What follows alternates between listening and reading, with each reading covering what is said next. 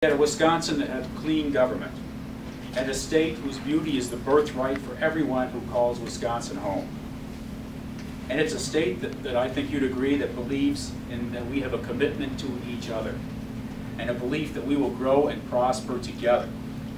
But that all changed when the 45th governor of Wisconsin took his oath of office January 3rd, 2011, and implemented his agenda with the active help of Luther Olsen.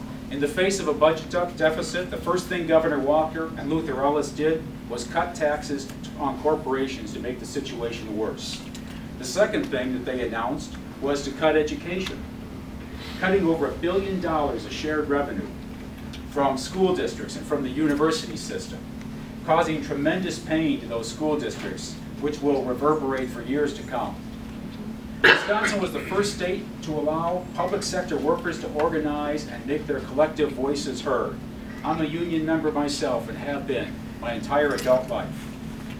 Just like the private sector employees like me, we have, uh, just like private sector employees like me who have been given that right by the National Labor Relations Act. In 1948, the United Nations General Assembly enacted the Universal Declaration of Human Rights, for all people and all nations. And in that document, the countries of the world agreed as a guiding principle of international law that everyone has the right to form and join into trade unions for the protection of their interests. And yet Luther Olsen believes that creating a second-class citizenry of public workers in this state is sound policy. To ensure that they would stay in power, Luther Olsen voted or change voter laws to disenfranchise the citizens of Wisconsin. There will be no more public funding for candidates through tax return. They both They passed a voter ID law which reintroduces tactics of voter suppression not seen since before the civil rights movement in the 1960s. There are 300,000 people in the state of Wisconsin who do not have a driver's license. And they're made up disproportionately of the, the elderly, minorities, uh, students, and the disabled they will have to run the gauntlet of this time-consuming and invasive process. They'll have to show proper documentation to prove a 28-day residency requirement designed to strip students of their right to vote. They'll be charged $28 unless they're knowledgeable enough to ask that the charge be removed. State employees have been instructed to never offer that the $28 fee can be removed for a voter ID card. And according to the head of Wisconsin Government Accountability Board, we will certainly face federal lawsuits for suppressing voter rights. And to top it all off, Luther Olsen changed state law in order to push through redistricting before the Republicans lose their majority in the Senate next Tuesday. There are voter district maps in this state that look like Swiss cheese, particularly down there where I live. I'm in a different district than the people who live three houses from me. Luther is going to allow me to vote, but he'll steal my vote's effectiveness by crafting districts to keep himself and his supporters in power. George Washington said that arbitrary power is most easily established on the ruins of liberty. And I think Governor Walker's administration has proven the wisdom of that statement.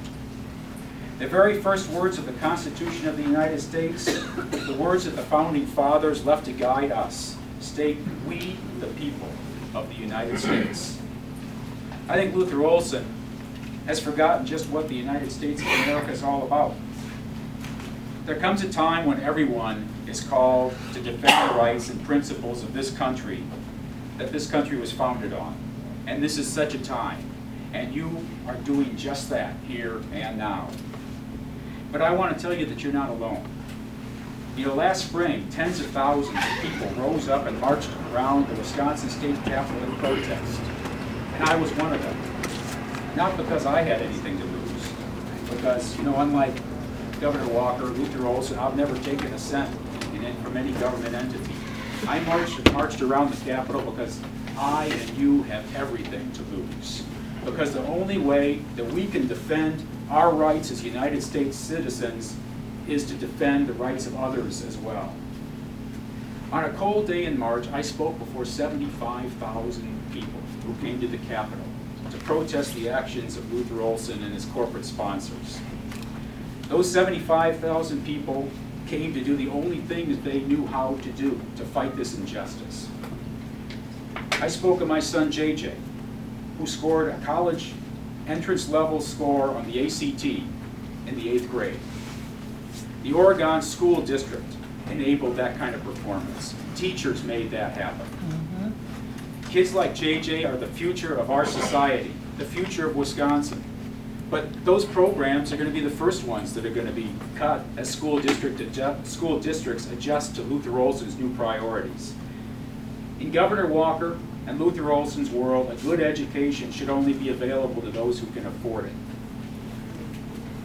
I was in the State Assembly gallery when Governor Walker gave his budget address to the state, one of only about 20 people who were not Republicans who were allowed to actually enter the room. I was one of the hundred or so people, just by accident, who were inside the Capitol the night the Assembly took the vote on the budget repair bill. I remember I was up on the third level, leaning on the stone wall, talking to some of the friends that I had made in the protest there. And all of a sudden, we just saw all these people just start to come into the building. It was when the police who had been barricading the doors stood aside and let the people into the Capitol. And I saw these masses of Wisconsinites pouring through the doors. It just seemed like an endless river of people, tens of thousands of them inside the building. Teachers, public workers, firemen, and just common people like me who know what's wrong and what's right. I don't know if any of you were a part of it, but it's had, just had an impact that you cannot imagine that evening in the Capitol. Nobody wanted to leave. We need to have that strength again. We need that force to defeat men like Luther Olsen, who would take from us what it means to be an American. Because only together can we retake our state, our communities, our schools, and our heritage from outside corporate interests. So I ask you, are we going to let Luther Olsen destroy our educational system? Are we- No. Are we going to let Luther Olsen trample on the rights of workers that create and protect the fabric of society? No. And are we going to let Luther Olsen gerrymander our electoral, uh, our electoral districts and subvert our rights as Americans to make our voices heard? No. Next Tuesday, August 9th, the people of Wisconsin are going to show Luther Olsen just what democracy looks like.